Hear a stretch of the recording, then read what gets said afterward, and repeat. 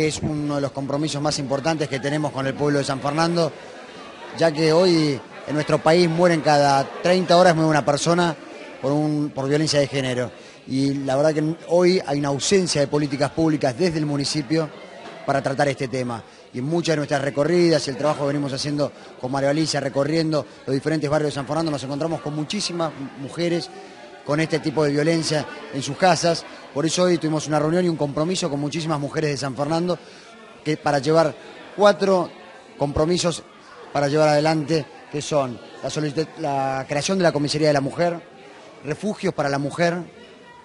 centro de atención y asesoramiento en los barrios más necesitados y línea gratuita de asistencia. No quisimos dejar pasar con Alex y con Cambiemos la posibilidad de eh, reunirnos a los cuatro meses de esa histórica marcha, que fue increíble la movilización, pero también fue increíble ver a los funcionarios responsables sacarse la foto con el cartelito ni una menos y no hacer absolutamente nada. Alex acaba de decir, la cifra sigue siendo la misma de junio, muere una mujer muerta por causa de ser mujer cada 30 horas en la Argentina y que además es una cifra de una organización no gubernamental porque el Estado Nacional no tiene cifras. Entonces, el compromiso nuestro con Alex de Cambiemos tiene estos cuatro puntos fundamentales que es lo clave. Estos cuatro puntos son importantísimos en este compromiso porque son